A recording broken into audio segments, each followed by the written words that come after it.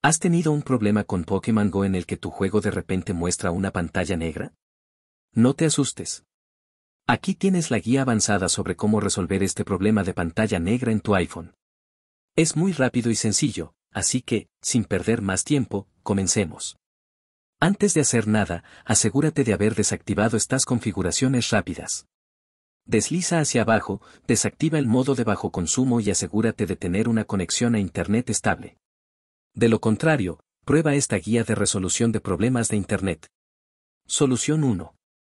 Activa y desactiva el modo avión. Desliza hacia abajo, activa el modo avión y espera 30 segundos, y luego vuelve a desactivarlo. Solución 2. Intenta reiniciar tu dispositivo. Esto a veces puede solucionar pequeños fallos de software que pueden estar causando el problema. Después de reiniciar, comprueba si tu problema está solucionado o no y prueba la siguiente solución.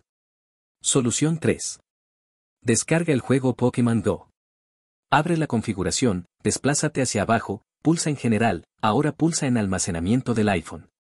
Español busca la aplicación Pokémon Go, tócala, toca el botón de descargar la aplicación y toca descargar nuevamente. Ahora reinstala la aplicación y verifica